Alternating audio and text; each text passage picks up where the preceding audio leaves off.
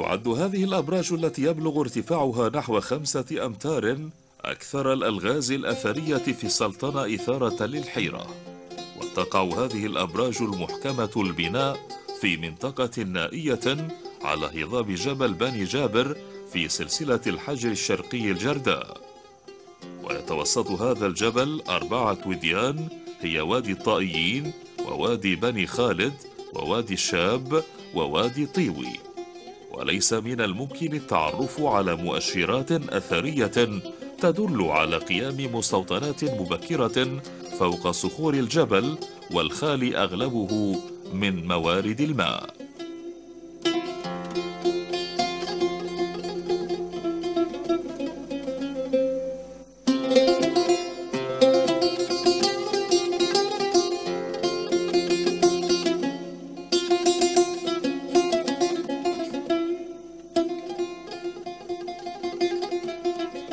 ونظرا للمستوى الرفيع في بناء الأبراج فإن علماء الآثار يعتقدون بوجود مجموعة من العاملين المهرة في البناء الحجري في تلك الفترة والتي تعود إلى حوالي 2500 سنة قبل الميلاد.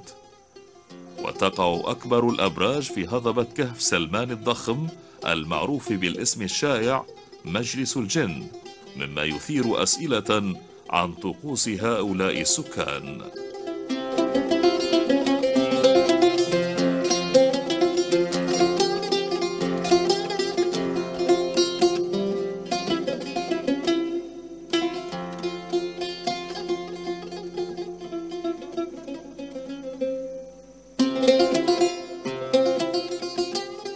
وتثير هذه الأبراج الغامضة الحيرة لأنه تم التأكد من أنها ليست مدافن كما أنها لا تحتوي على مظاهر تنم عن التحصين ولا يوجد بها درجات تؤدي إلى القمة المفتوحة وهناك برج واحد سليم البناء به قبة داخلية من الحجارة المرصوصة تعلوها قبة أخرى تمتد حتى القمة.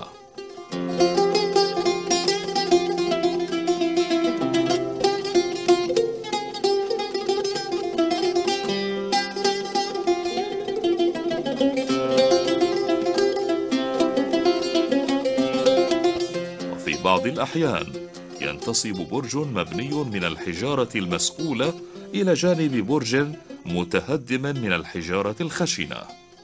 ويبدو أن الأبراج ذات الحجارة المسقولة شيدت في وقت لاحق على حساب الأبراج الخشنة.